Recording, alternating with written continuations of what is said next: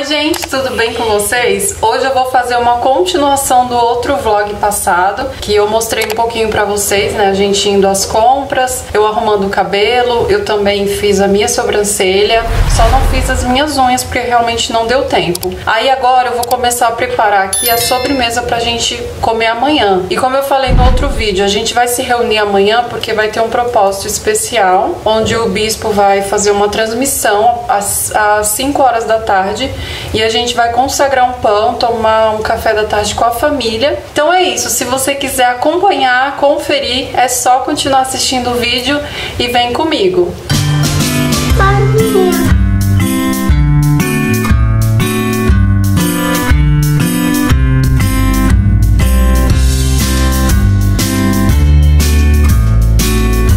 Gente, dei só uma dei só uma ajeitada aqui, ó, na, no armário. Deixei as coisas que a gente vai usar aqui, tudo aqui assim na frente amanhã. Aí aqui, ó, dei só uma ajeitadinha, ó, coloquei algumas coisas aqui.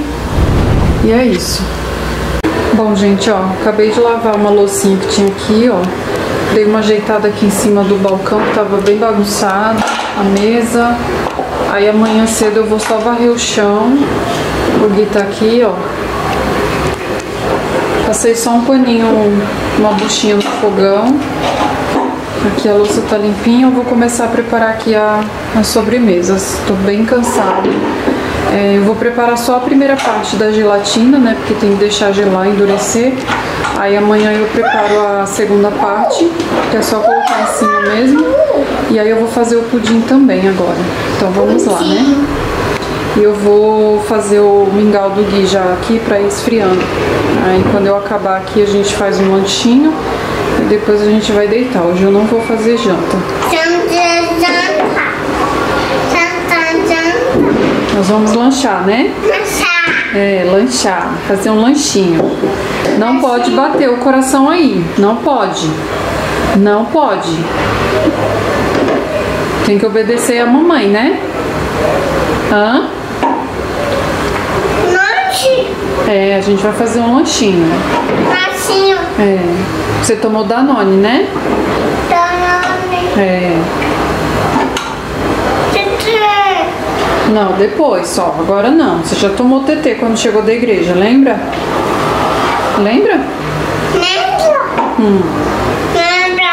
Bom, gente, já separei aqui ó, as duas gelatinas de morango. Essa aqui eu tinha comprado de outra vez, por isso que é de outra marca. E aí a essa daqui de Royal, tá? Eu vou fazer hoje de um jeito diferente pra ficar bem mais consistente, mas aí você pode fazer na sua casa do jeitinho que você achar melhor, tá bom? Ou até seguindo as... A, o que a embalagem fala, né? Para as duas gelatinas eu vou usar 250 ml de água gelada e mais 250 ml de água quente, tá bom? Mas aí você pode pôr mais, pôr menos, aí você fica ao seu critério, né? Eu vou fazer assim pra ficar bem consistente. Eu vou preparar essa parte aqui, vou pôr na geladeira e amanhã de manhã eu preparo o mousse de, de morango pra pôr em cima. Aí vai ficar o dia inteiro gelando, tá bom?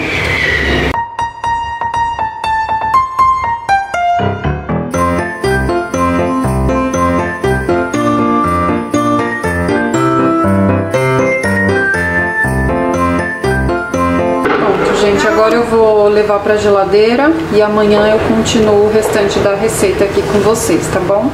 Bom, gente, agora eu vou preparar aqui o pudim, ó. Aqui tem seis ovos, que eu vou fazer uma receita dobrada. Mas se você for fazer uma receita só, é três ovos. Aí vou usar duas caixinhas de leite condensado, duas medidas de da caixinha de leite, tá? Porque cada caixinha é uma medida de leite.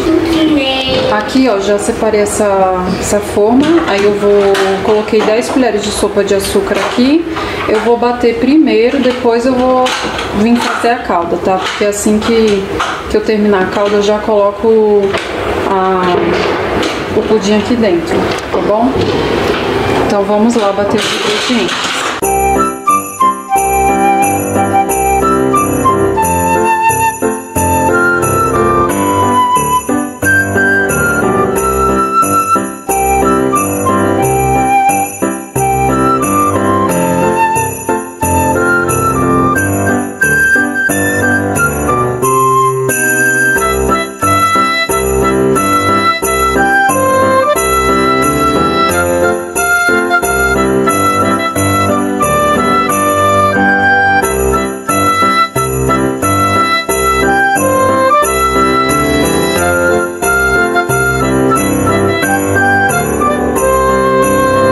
Bom, gente, ó, eu acabei de colocar aqui a forma, tá? Coloquei a forma dentro da dessa panela com um pouquinho de água pra cozinhar aqui em banho-maria, tá bom? Por 30 minutos.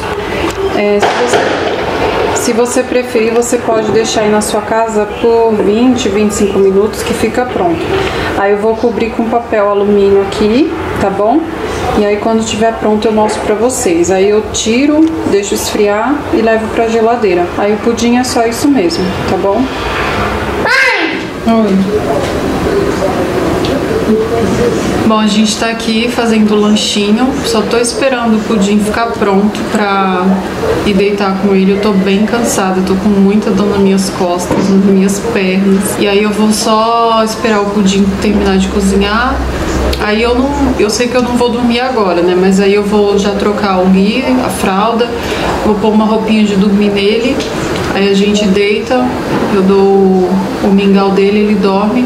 Aí depois eu venho aqui e se tiver frio, né, aí eu coloco na geladeira, tá bom? Então é isso, gente. Eu espero muito que vocês estejam gostando de acompanhar esse vídeo. Amanhã eu continuo aqui com vocês, tá bom? Ó, gente, acabei de levantar aqui, ó, o papel alumínio. Agora são 10 e 10 da noite já. Pra vocês terem ideia da hora que eu terminei isso daqui. Aí eu coloco a faca assim, ó, e sai sequinho, tá vendo, ó? Eu vou deixar só mais uns 5 minutinhos e eu já vou desligar o fogo e vou deixar esfriar bastante antes de levar para geladeira, né? Bom dia, gente, tudo bem? Hoje já é dia 25 de dezembro de 2021. Bom, eu fui dormir ontem por volta de meia-noite e meia. O Guilherme demorou bastante para dormir ontem, ele estava super agitado, foi dormir umas 11h20 mais ou menos, ou um pouquinho mais tarde. Ele não dormiu durante o dia e eu achei que ele fosse dormir mais cedo, mas não dormiu mais cedo. E aí eu tava bem cansada. Assim que eu mostrei o pudim pra vocês, né? É, eu desliguei, fui deitar junto com ele. E aí ele demorou muito para dormir. Aí depois que ele dormiu, eu fiquei só um pouquinho é, vendo algumas coisas e, e já fui dormir também, que tava morrendo de sono. Aí ele me acordou hoje às 5 horas da manhã, gente. Aí eu levantei, troquei a fralda dele, dei uma, um pouquinho de leite que ele pediu. E aí eu voltei a acordar 9 horas. Aí eu levantei 9 e meia, já tomei café. E aí minha mãe entrou em contato e falou pra gente, ao invés de fazer o jantar hoje, fazer o almoço. Então eu já vou adiantando o restante das coisas que falta. Agora de manhã eu só vou fazer mesmo um mousse de morango, né? Que tinha faltado. A gelatina já tá bem durinha. E mais tarde eu vou desenformar o pudim. Ainda bem que eu fiz ontem à noite, né? Já deixei adiantado. Aí eu vou, agora cedo eu vou fazer arroz, a salada, um vinagrete. E meu irmão vai vir pra cá pra preparar a carne e tudo, né? Eles trouxeram churrasqueira ontem também. Eu acho que eu mostrei no, no vídeo lá no carro pra vocês. Então é isso. Eu espero muito que vocês gostem de acompanhar o vídeo de hoje, né? Eu tô gravando um pouquinho assim do que tá sendo nossa véspera de Natal e o nosso dia de Natal. E às 5 horas da tarde, e hoje também eu ainda tenho que fazer um pão, né? Vou fazer um pão menor, mais simples. Vou fazer uma massa que eu já fiz, já até gravei aqui pra vocês no canal, porque é bem rápido, né, esse pão. E aí eu vou mostrando tudo pra vocês, tá bom? E quando for 17 horas vai ter a oração com o bispo, aí a gente vai preparar um café da tarde pra tomar junto com a família. Então é isso, gente. Eu espero muito que vocês gostem de acompanhar. É só continuar assistindo o vídeo e vem com a gente. Bom, gente, ó, a minha gelatina tá bem consistente. Ela ficou um pouco assim, ó, com essas coisinhas de gelo, porque eu deixei a geladeira no máximo, porque tem bastante coisa na geladeira, tem as carnes, então por isso que eu deixei assim, mas tá bem firmezinho, ó. Aí pro mousse que eu vou colocar em cima, eu vou, eu vou usar uma caixinha de leite condensado da marca Italac e um creme de leite Italac também. E aqui na, na embalagem, ó, de... Esse aqui é um pó pra preparo de sobremesas. Aí fala aqui que pode usar pra mousses, tortas, cremes, sorvetes e bolos. E aqui atrás fala que pode usar pra mousse duas duas colheres de sopa para cada caixinha de, de leite condensado e cada caixinha de creme de leite. Então eu vou fazer só uma receita para colocar aqui por cima, então vão ser duas colheres de sopa do pozinho, tá? Aí eu vou bater no liquidificador, vou colocar aqui e vou levar de novo para geladeira.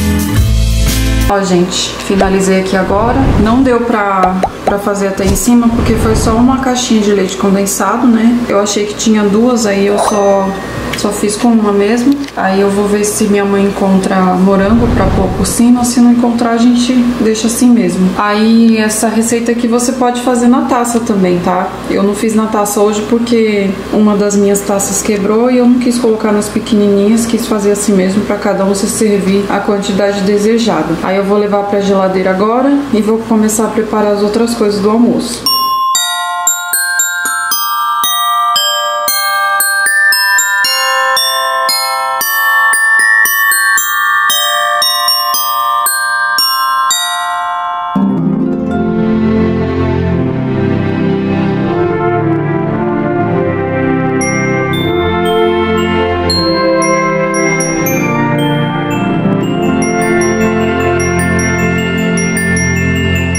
Gente, acabei de colocar aqui as cenouras pra cozinhar no vapor da cuscuzeira. Aqui tem quatro cenouras médias, tá? Aí aqui ó, o arroz já tá pronto. Já desliguei. E aí agora eu vou, vou cortar umas três batatas. Não vou pôr muitas não, porque ainda tem o milho, a ervilha pra colocar. Aqui eu já separei tomate e cebola pra fazer o vinagrete. Vou pegar um restinho de coentro que eu tenho na geladeira.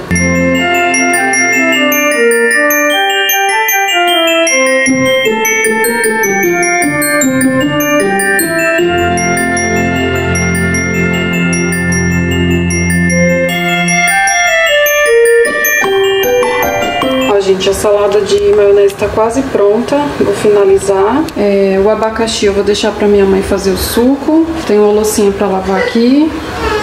O arroz já tá pronto. O vinagrete tá quase pronto, só falta colocar vinagre e azeite, sal. Aí eu dei uma passada de vassoura aqui na casa, ó. Tava bem sujo o chão da cozinha. Passei um, a vassoura aqui na sala também, passei um cheirinho. Aqui no quarto também, passei um cheirinho. Limpei o banheiro, passei um pano aqui também, ó. E o Gui tá aqui, já vou tirar ele daqui já. Minha mãe já tá chegando com meu irmão.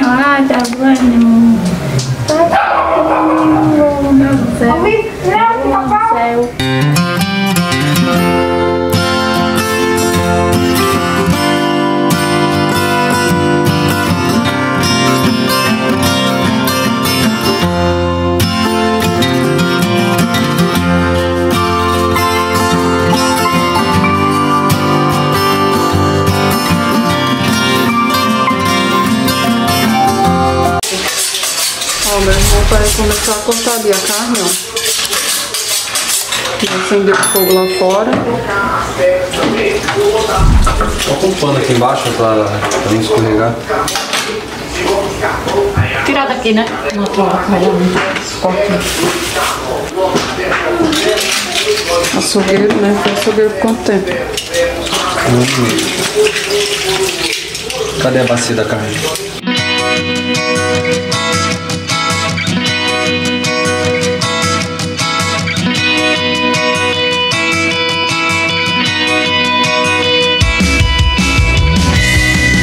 Ó, meu irmão vai usar esse tempero ali, ó. É de. É tipo completo, né?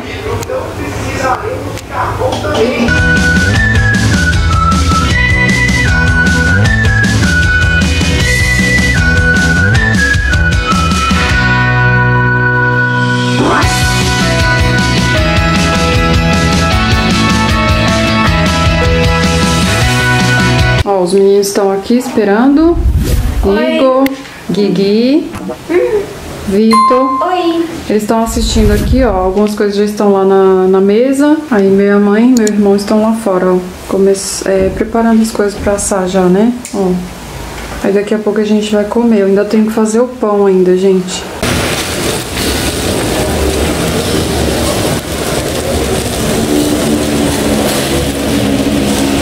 Ó, gente, já separei aqui os ingredientes para preparar o pão, para poder deixar descansar um pouquinho, né? E só assar mais tarde. Aí eu vou usar leite, ovo, fermento biológico, farinha, sal, óleo e açúcar, tá bom?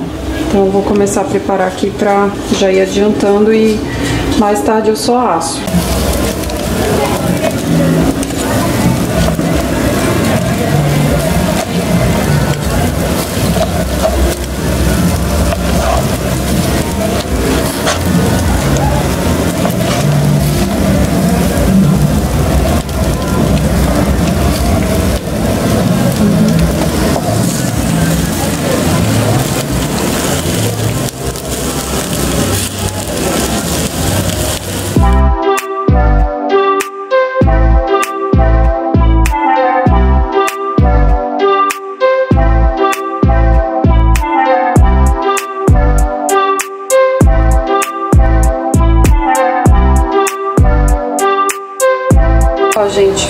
Finalizei aqui o pão. Eu dei uma sovada bem pouca, bem rápida, sabe? Aí já coloquei a massa assim mesmo, ó. Aí deixei nessa forma aqui. Aí eu vou deixar descansar. Aí mais tarde a gente põe pra assar, tá bom? Agora eu vou comer churrasco ali fora.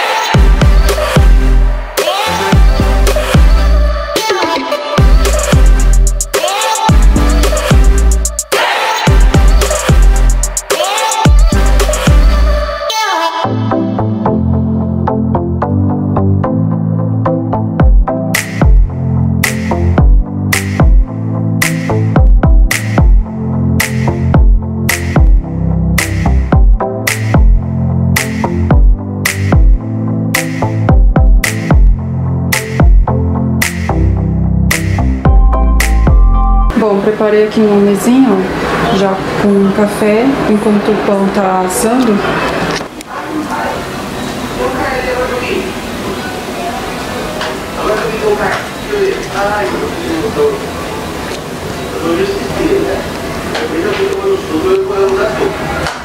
Eu vou estar com raiva, né? eu vou dar dois. Esse mapa. Nossa, porque esse mapa, 16 pessoas, se a maioria do médico lugar,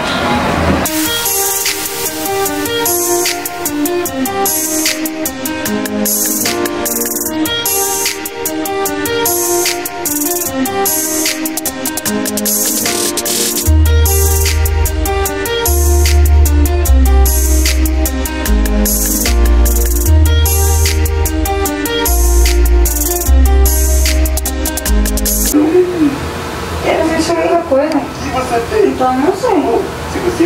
foi? bem que essa galera não faz. que foi? Abraça a vovó. Eventos e ações com o propósito 2021 tem muita coisa, até porque a nossa força pessoal. Café. É, o café. A gente vai consagrar o pão primeiro, tá bom? Você não teve direito à saidinha, você está mais enclausurado, está sozinho aí. Essas companhias que estão ao seu redor estejam todas aflitas. Puxa, eu poderia estar com a, a minha esposa, meus filhos, meu marido, enfim, você poderia estar, mas você está enclausurado. Mas preste bastante atenção, muita atenção, Deus criou os céus e a terra. No segundo versículo diz: a terra era sem forma e vazia. O santíssimo nome do Senhor Jesus Cristo. Eu sei, eu tenho certeza, tão certo como o Senhor existe, tão certo como as Sagradas Escrituras e a tua palavra, tão certo como nós estamos aqui agora. Meu Senhor, eu creio que o Senhor está com essa criatura que está aí atrás das grades, que não teve direito nem o privilégio de estar em família, como muitas famílias estão participando dessa transmissão. Eu peço então, meu Pai, consagra esse elemento para que quando ele tocar no estômago dessa pessoa, haja luz, haja saúde, haja vida, haja, meu Pai, transformação, porque o Senhor não é de pau, de pedra, de metal, o Senhor é um Deus vivo, um Deus vivo tem que fazer coisa viva, atuante e corresponder à necessidade daqueles que te invocam na verdade. Ó poderoso de Israel, nós pedimos em nome do Senhor Jesus, faça o resto. Nós fazemos a nossa parte, nós fizemos a nossa parte, nós falamos da tua palavra. A tua palavra é luz para os que estão nas trevas. É Obrigado, Bispo Macedo, obrigado, Dona Esther, e você que nos acompanha. Vamos aqui meditar nessa palavra que o Bispo acabou de referir. Chama, você está numa condição precária.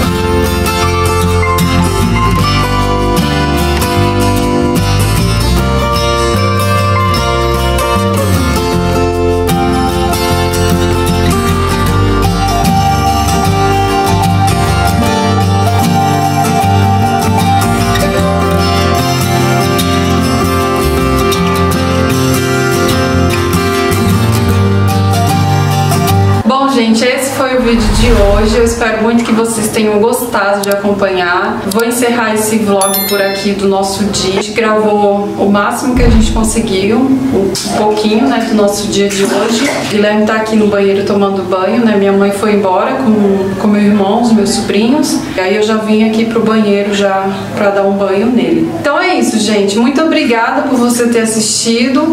Deus abençoe a sua casa, a sua família, a sua vida. Fiquem com Deus. Tchau, tchau. E a gente se vê no próximo vídeo.